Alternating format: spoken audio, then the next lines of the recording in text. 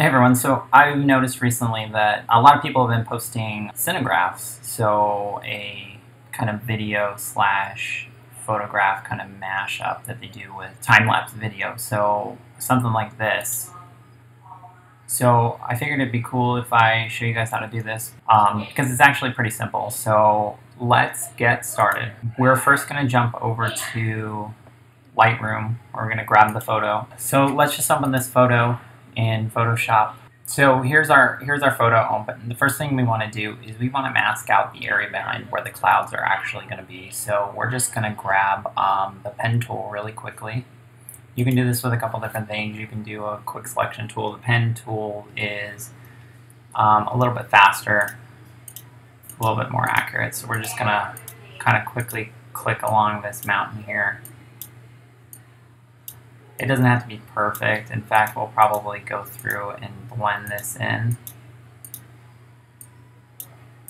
But, I mean, the better you make your selection, the better your end product is going to be. I'm just doing this kind of quickly just to show everyone kind of the concept. So spend a little bit more time on yours. So we've gone through, we've made our kind of rough outline of the shape we're going to right click and click make selection. Uh, we'll feather it by one pixel and then we're just going to go ahead and hit our mask button. We'll hit Command I to invert that.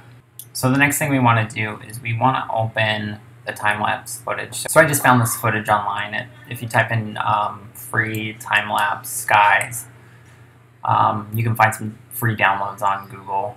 So this is just one of those just for this example. So what we want to do now is we want to go back over to the image that we just finished masking out. We're going to grab our move tool and we're just going to pull that straight over.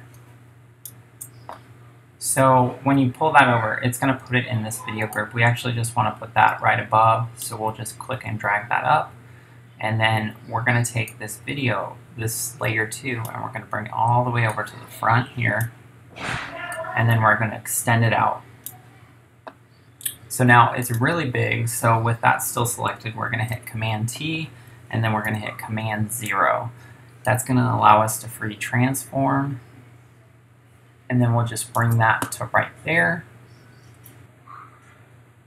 and we'll bring this up a little bit, just so we cover that ocean that's back there. And then we'll hit Enter to commit that, and one thing we want to do is let's click on this here. As you can see um, from the masking, we could probably get that to look a little bit better. So let's paint in black, and we'll just take a soft brush and just paint right along here.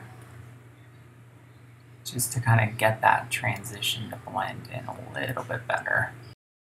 Alright, and so really that's kind of it. So sky's playing, so if you want to do any color correction, you can bring, uh, you can select the curves layer, um, put that right above your video layer, and then you can just darken that down if you want. Um, the other cool thing is, just like Photoshop, all of the layers build. So if you remember the image that we brought up, I had this kind of little sun leak thing.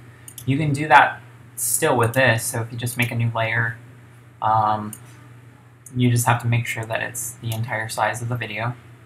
Then if you grab your gradient tool with the second option selected and you just pull straight down from there, that gives you your nice little light leak and then you still have your clouds moving.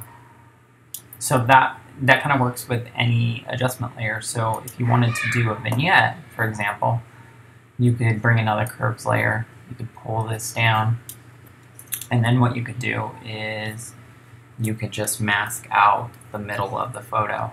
So we'll make our brush big with a black brush, and we can just paint right in here. So, and then with the playhead, you can just see what that's going to look like. Now, to get this out of Photoshop, you're going to go up to Export, and you're going to come down here to Render Video, we're going to leave pretty much all these settings as default. Uh, we are going to change the name, so we'll call this Cinegraph. And so we're just going to go ahead and hit render, and it's going to take a few minutes. Alright, and now we're done rendering, so we can see what we're left with. So we have a 15 second video, and as you can see, the clouds are just moving through. So hopefully you like this video. Hopefully this helps. I know that these have been pretty popular recently on Instagram, so now you can make one for yourself. Until next time, take care.